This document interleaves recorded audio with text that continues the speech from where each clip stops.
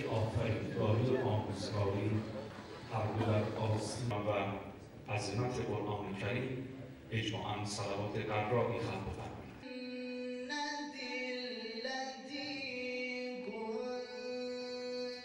جمهوری اسلامی ایران با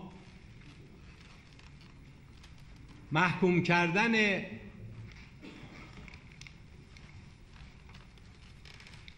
این اقدام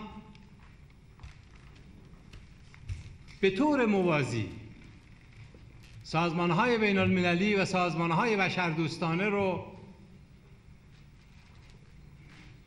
بر اساس تعهداتشون متکفل و مسئول پیگیری این پرونده می‌دونه اینکه نسیم ببریم از برکات. چون این رژیمی چونان رژیم نجات پرست آفریقای جنوبی لابد و ناگزیر از زوال است. نیازهایی که به سلاح پیدا می‌کنن وابسته بشن از کناره ها ما میشنویم که زنده هستند و به دست دولت اسرائیل گرفتار. در اینجا من و دیگر دوستان وظیفه داریم که به جد پیگیری لازم رو بکنیم.